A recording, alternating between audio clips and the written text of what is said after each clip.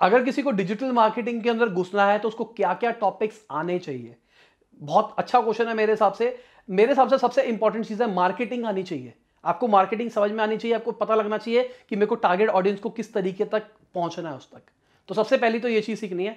दूसरी चीज़, आपको कम्युनिकेट करना सीखना है। कम्युनिकेट कॉपी राइटिंग के थ्रू मतलब अगर आप एड चला रहे हो तो उसके अंदर आपको लिखना आना चाहिए। अगर आप कंटेंट ब्लॉग्स लिख रहे हो तो आपको ब्लॉग लिखना आना चाहिए।